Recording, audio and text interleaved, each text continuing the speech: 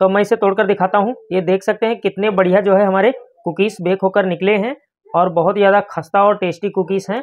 तो आप इन्हें ज़रूर एक बार ट्राई करना। आज हम बनाने वाले हैं हेल्दी और टेस्टी वाले ओट्स कुकीज़ बेकरी स्टाइल में और उसको बनाने में आपको कोई प्रॉब्लम भी नहीं होने वाली है क्योंकि मैं आपको परफेक्ट मेज़रमेंट के हिसाब से बताऊँगा ताकि आपको बनाने में कोई भी दिक्कत ना हो। तो hello and welcome to my YouTube channel Rajesh bakery cafe तो चलिए स्टार्ट करते हैं और बनाते हैं। Oats cookies. तो हमें ओट्स वाले बिस्किट बनाने के लिए सबसे पहले हमें लेना होगा बटर। तो बटर मेरे पास यहाँ पर अनसोल्टेड वाला बटर पचास ग्राम पड़ा था। तो मैं जो है सॉल्टेड वाला बटर दस ग्राम ले लिया हूँ। आप जो है अनसोल्टेड वाले बटर से भी बना सकते हो, पूरा का पूरा अनसोल्टेड बटर से और पूरा का पूरा जो है सॉल्टेड वाले बटर से भी बना सकते हो इस रेसिपी को। कोई भी दिक्कत आपको नहीं होने वाली है। तो उसके बाद हम इसमें डालेंगे शुगर पाउडर शुगर पाउडर आपको इसमें डालना है पचास ग्राम। और उसके बाद इन दोनों को जो है हम आपस में जो है इस तरीके से मिक्स करके इसे अच्छे से जो है क्रीमी फॉर्म में ले आएँगे। तो इस तरीके से जो है आपको बटर और चीनी को आपस में मिक्स करने के बाद इसे सॉफ्ट कर लेना है इस तरीके से, जैसे मैंने किया है, आप देख सकते हैं। और उसके बाद हम इसमें डालेंगे मिल्क मिल्क आपको इसमें डालना है 20 ग्राम बट ये मैंने 20 ग्राम लिया है बट हम इकट्ठे इसमें नहीं डालेंगे। इसमें हमें थोड़ा सा पहले डालना है और उसके बाद हैंड बीटर से हम इसे इस तरीके से मतलब कि और ज़्यादा सॉफ्ट करेंगे इसे। इलेक्ट्रिक बीटर का भी यूज़ कर सकते हो यहाँ पर आप।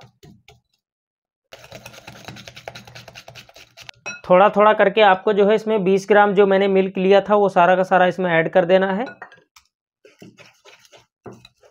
तो मैंने इसमें सारा का सारा जो है 20 ग्राम मिल्क ऐड करने के बाद मैं इसे फेंट चुका हूँ और उसके बाद हमें इसमें डालना है 10 gram milk powder, one by fourth tea आपको इसमें बेकिंग पाउडर डाल देना है।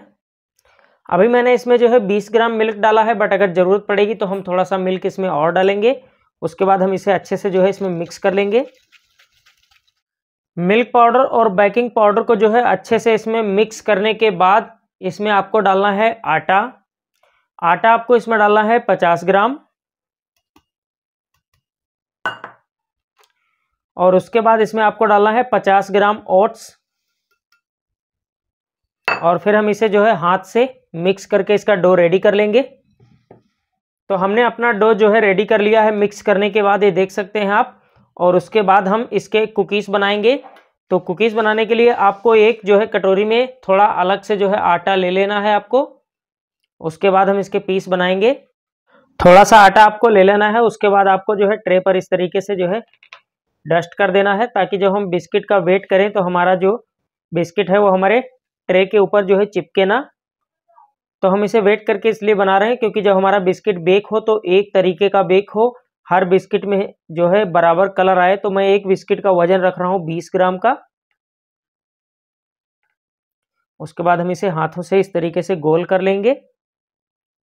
सारे पीस में फटाफट इसी तरीके से वेट करके रख लेता हूँ। तो हमने अपने सारे के सारे कुकीज़ जो है वेट करके रख लिए हैं। तो अब हमें क्या करना है?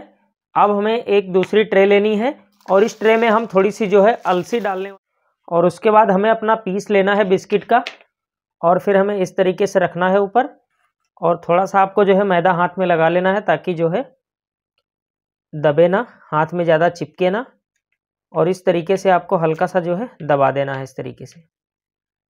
हल्का प्रेस करना है, ज़्यादा नहीं। इस तरीके से जो है आपको लगा लेना है। आप चाहो तो अलसी लगा सकते हो, ये ऑप्शनल है। अगर आपकी इच्छा है तो लगाइए, नहीं तो कोई दिक्कत नहीं है। तो मैं फटाफट से इसी तरीके से जो है अलसी लगा लेता हूँ सारे बिस्किट में। तो हमने अपने सारे बिस्किट में जो है अलसी लगा ली है तो हम इसे ओवन की ट्रे में जो है रख लेते हैं।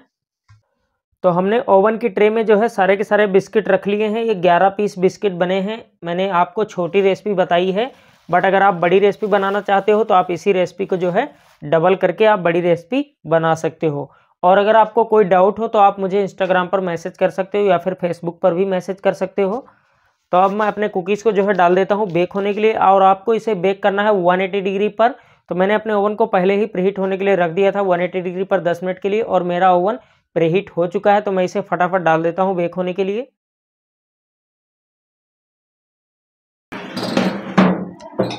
और इसे आपको बेक करना है 180 डिग्री पर। राडे आपको हमेशा दोनों ऑन करके रखना है और मैं इसमें 20 मिनट लगा दिया हूँ। तो मैं इसे बेक हो जाने देता हूँ अच्छे से। तो हमारे कुकीज़ बेक हो चुके हैं और हमारे कुकीज़ को बेक होने में पूरे के पूरे 20 मिनट लगे हैं तो मैं इसे बाहर निकाल लेता हूँ। तो ये देखिए, हमारे कुकीज़ जो हैं वो बेक हो चुके हैं बट ये जब ठंडे हो जाएँगे, फिर ही मैं आपको इसे तोड़कर दिखाऊँगा, क्योंकि कोई भी कुकीज़ जब आप गरम गरम निकालते हो तो नरम होते हैं। ठंडे होने के बाद ही वो जो है क्रिस्पी और खस्ता और जो है हार्ड होते हैं।